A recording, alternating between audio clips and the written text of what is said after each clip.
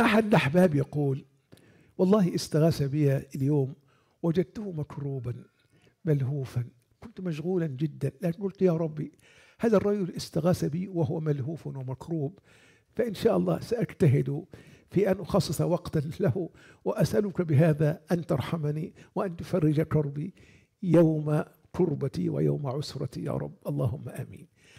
حبيبنا يقول أنا مبتلى بالوساوس القهرية في باب سب الدين.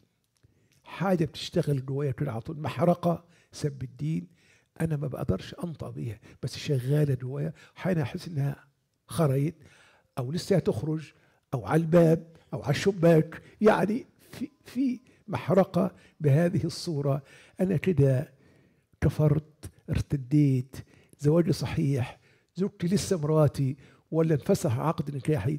أنا فين بالضبط؟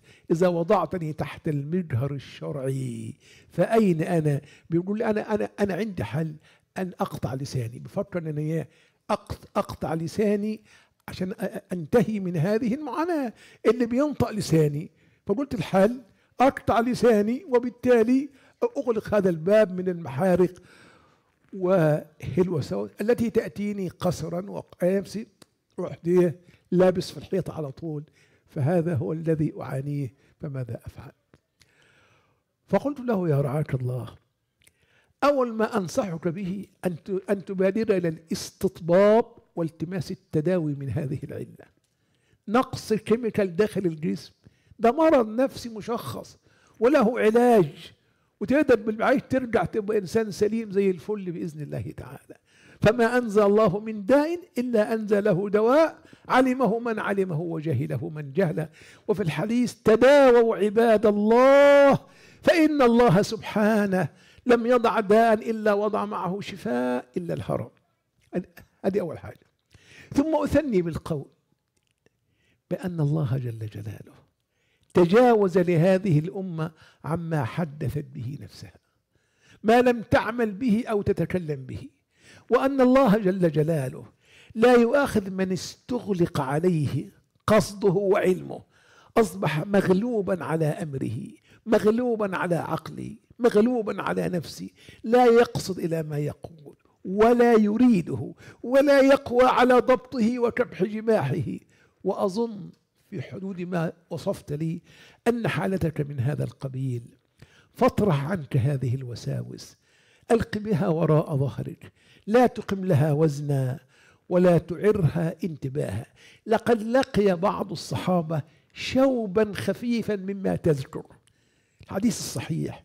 جاء ناس من أصحاب النبي صلى الله عليه وسلم فسألوه إنا نجد في أنفسنا ما يتعاظم أحدنا أن يتكلم به. يعني يود لو أن يخر من جبل ولا يجده في نفسه ولا يتكلم به. فقال وقد وجدتموه. قالوا نعم. قال ذلك صريح الإيمان. المعنى أن الإيمان الخالص والخوف من الله الذي في قلوبكم هو الذي يمنعكم من قبول ما يلقيه الشيطان في أنفسكم والتصديق به. حتى صار ما يلقيه إليكم مجرد وساوس. لا يتمكن في قلوبكم منها شيء ولا تطمئن إليه نفوسكم.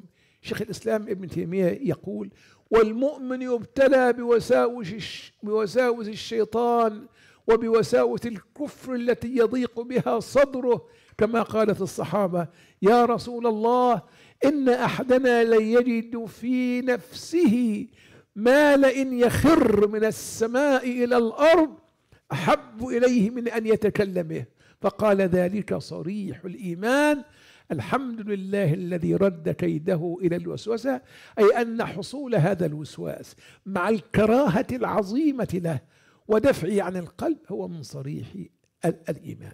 فالحل يا عبد الله قاوم هذه الوساوس ما استطعت. أمسك عليك لسانك ما استطعت. ليكن لسانك رطبا دائما بذكر الله عز وجل وبالصلاة على نبيه صلى الله عليه وسلم لتكفى همك ويغفر ذنبك. واستدم الاستغفار واصدق اللجأ إلى الله جل جلاله وأسأل الله أن يمسح عليك بيمينه الشافية وأن يجمع لك بين الأجر والعافية.